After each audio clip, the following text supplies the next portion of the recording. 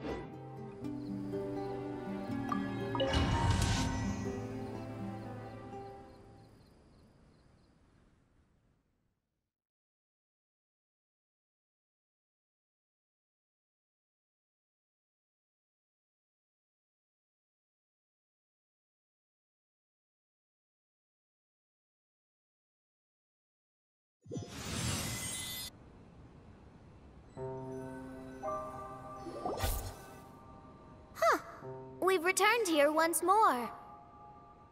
Looks like the story's not finished yet. Let the adventure continue.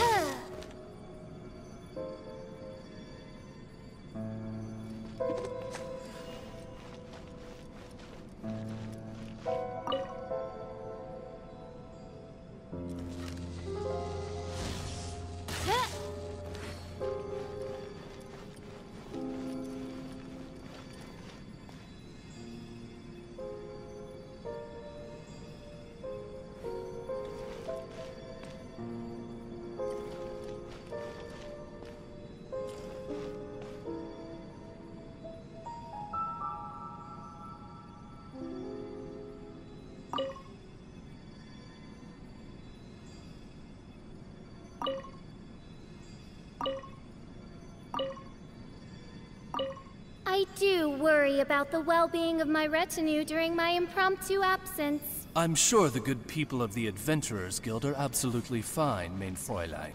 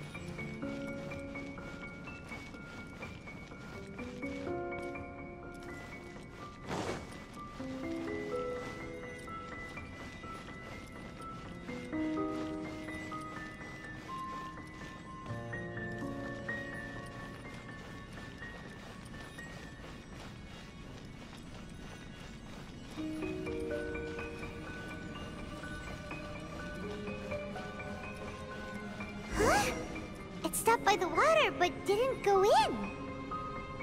Seems almost like it's waiting for something.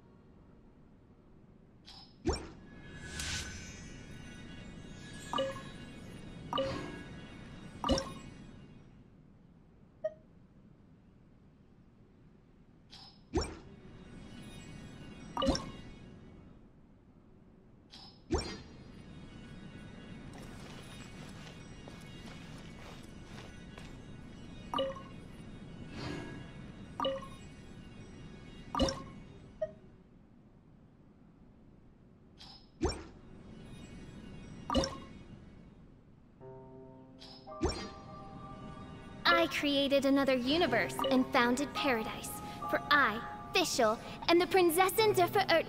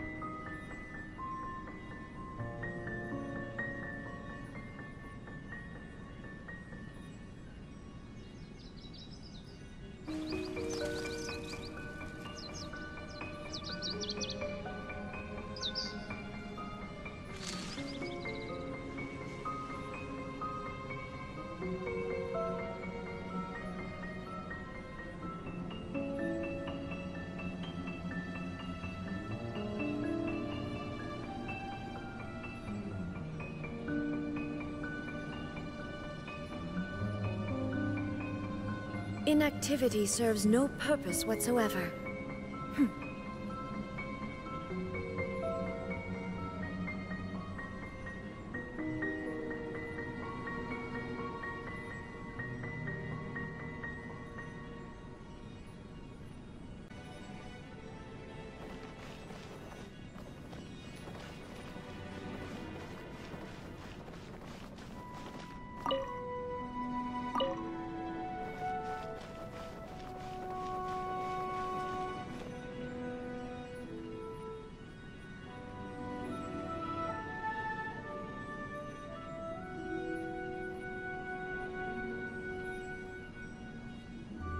The world remains constant over the centuries. But human life is like the dew at dawn, or a bubble rising through water. Transitory.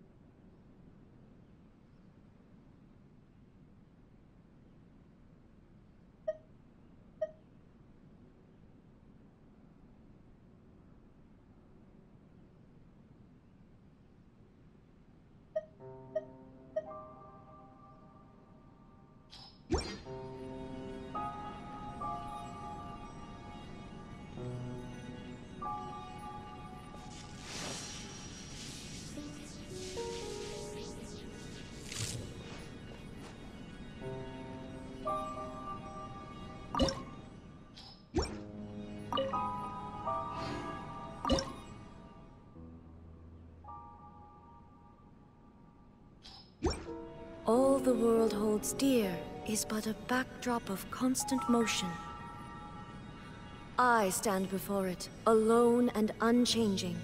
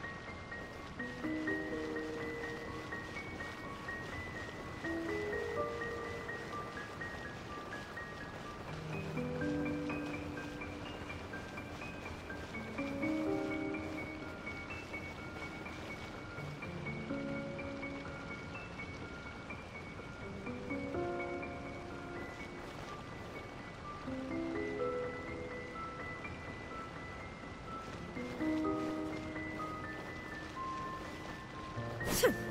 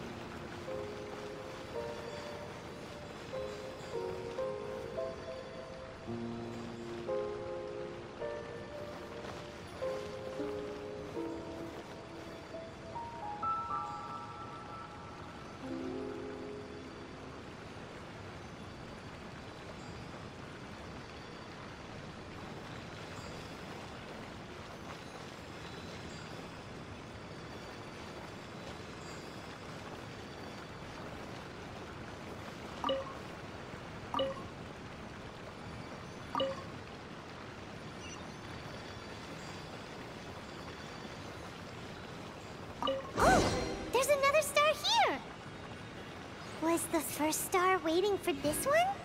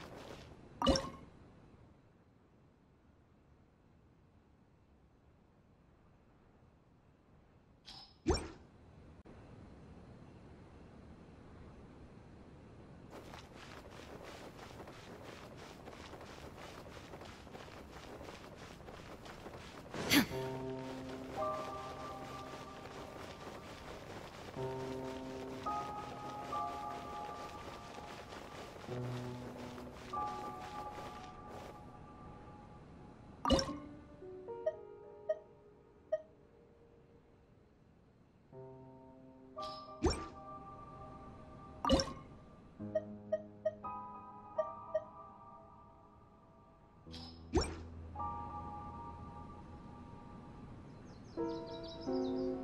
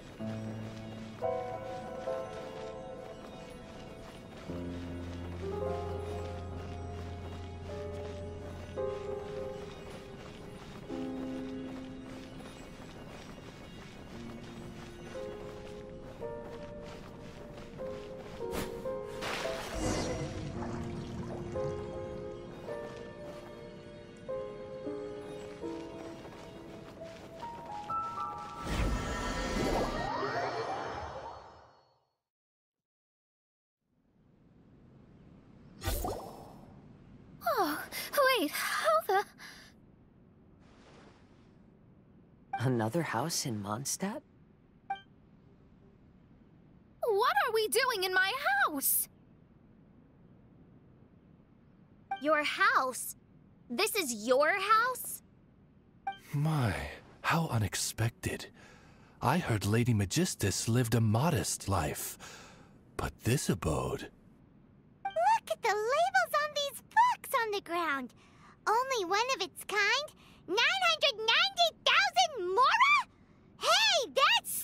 That's super expensive!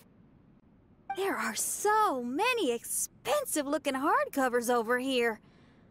So, this is what an astrologist's room looks like. The rooms are exquisitely designed. This place must be very expensive.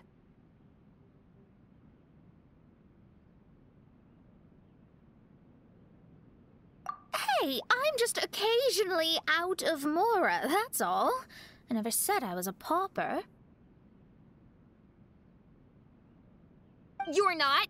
Oh, so what about those times I treated you to meals and had you over to my place for dinner?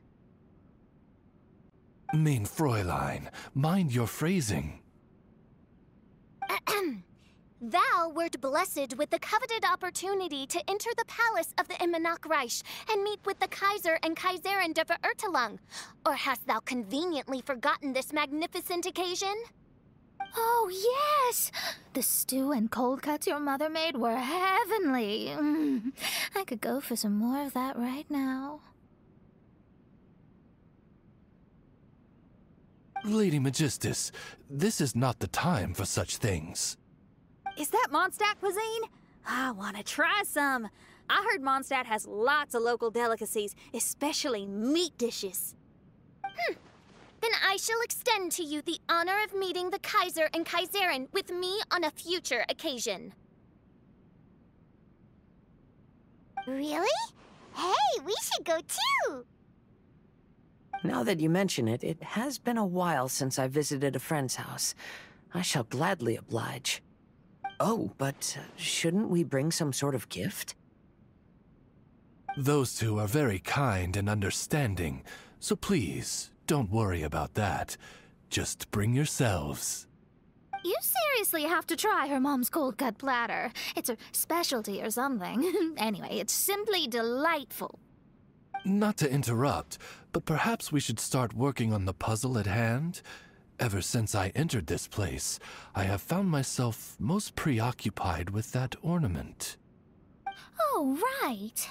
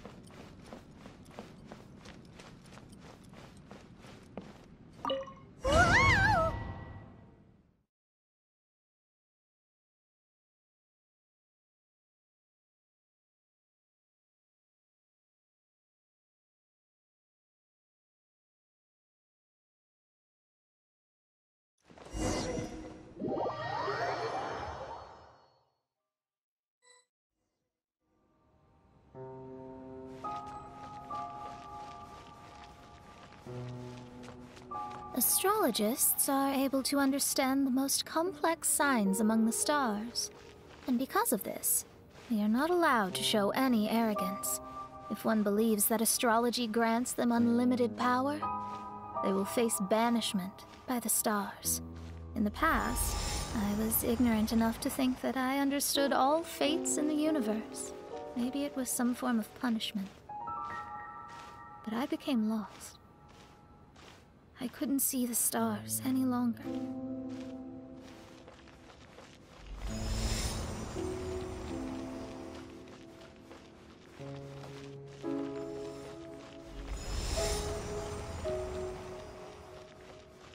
You should not get confused. If you should become confused one day, not even astrology will be able to help you then. That's what the old hag said. We astrologists can't predict our own fate. But today, those words seem to carry a different meaning.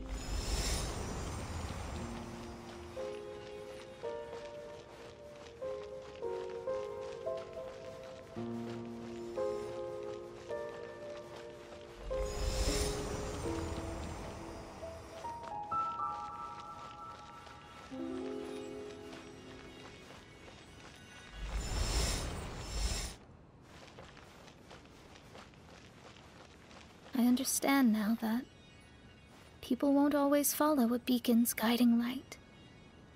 Even though the way forward may be dark and dangerous, they will still resolutely forge ahead.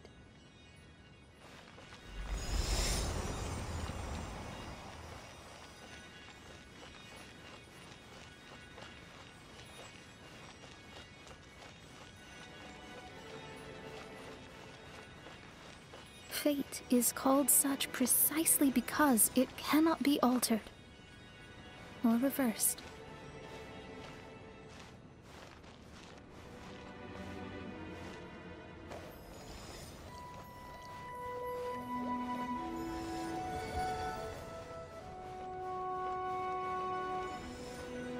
I understand the governing laws of the universe and have glimpsed secrets between heaven and earth. Observing it is enough for me. There's no need to force it to change.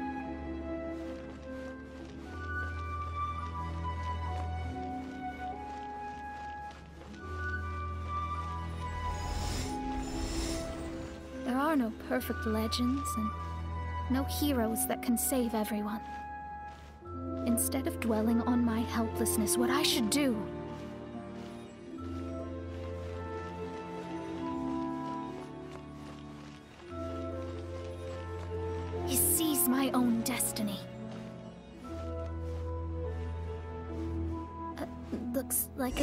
to an end again.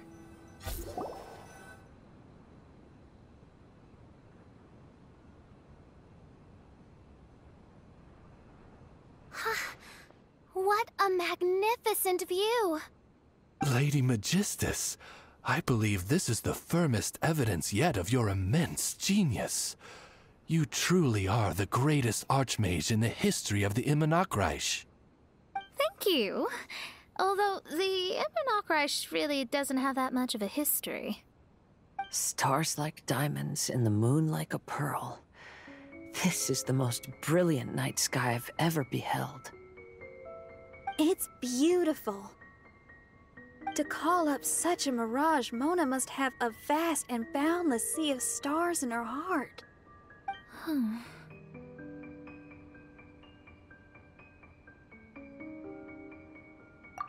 I'm just thinking. These must be the things that we aspire to. This night sky is incredibly beautiful. In fact, I might go so far as to say it's even more beautiful than what I usually see in divinations. All the stars are in their rightful place. This is definitely my mirage. Only here can I see extraordinary sights like these. Extraordinary? Why do you say that? You know, the night sky of Teyvat is truly marvelous. All the answers in the world seem to have been hidden within. When is my missing son going to be found? Do they love me or not? Will I ever recover? As your stars move across the sky, they record all your life events in their path. And among all the people in the world, a considerable number will see their stars deviate from their path. When your stars are on track, it means you will be healthy, happy, and at peace. Conversely, if your stars go off track, everything will get worse. The starry sky in my divinations would never look as perfect as this. Some stars would lose their way, and others would fall. I wish everyone could be happy and stay on track. To this end, I offer advice and tell the truth. I know it's useless, All fates are already revealed in the night sky, with mine too, just another among them. I can't change anything. Even so, outside of astrology, outside of the words of truth, I still cling to the wisp of an irrational fantasy. We must all live within the confines of reality, but. Call me presumptuous. But I still believe in miracles. In this vast sea of stars, there are stars for you, for me, for everybody. What are the chances of one star encountering another? Are these encounters not the most wonderful miracles in all of destiny? I don't know. But within Teyvat, the stars in the sky will always have a place for us. Even if astrology is resolutely rational, fate remains arbitrary, cruel, but romantic.